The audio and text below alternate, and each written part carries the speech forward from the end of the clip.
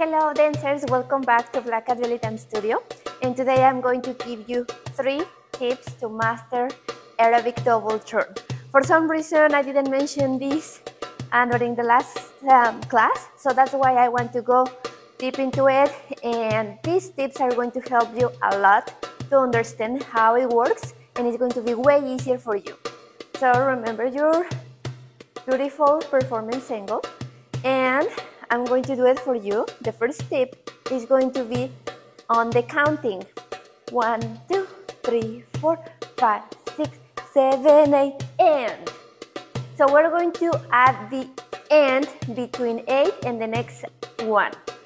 So one, two, three, four, five, six, seven, eight, and one, two, three, four, five, six, seven, eight. So it's kind of hard to count because the, the, you take advantage of the momentum to go into the turns, but if you do and very quick to prepare before turning, that's going to help a lot. Like and one, two. Hope this makes sense. That's the tip number one. Tip number two. My students have asked me, how do I know how to start the step? So you're going to use the right arm and the right leg. This is a very nice way to start the, the turns, knowing that you open up the right leg and open up the right arm while the left, the left arm is horizontal. So from here, for some reason, when I was explaining the step, I was doing the opposite, not during the step, but when I was explaining it, so just make sure that you prepare like this. Right foot open, right arm up here. Make sure that it's not very square-ish, it's not very straight. It's a very nice and beautiful curve. That's tip number two.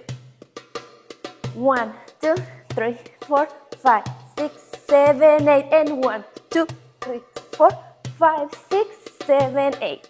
And tip number three, Make a very tiny pause between the turns. That's the way it helps you to come back to your center and feel like stable. So let's do it.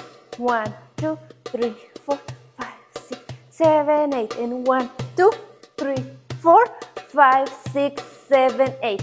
I'm going to over exaggerate it so you can see. It's a very tiny pause but it helps a lot. Also, if you have a photographer in front of you, they are going to catch you right here in the moment and it's a beautiful picture, right? So, look at the tiny, try to find the tiny um, pause that I'm making. One, two, three, four, five, six, seven, eight, and one, two, three, four, five, six, seven, eight.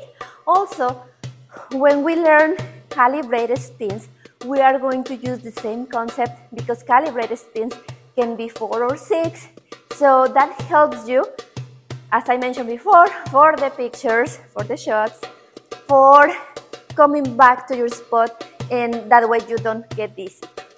Hope these tips help you a lot. I didn't want you to miss this information.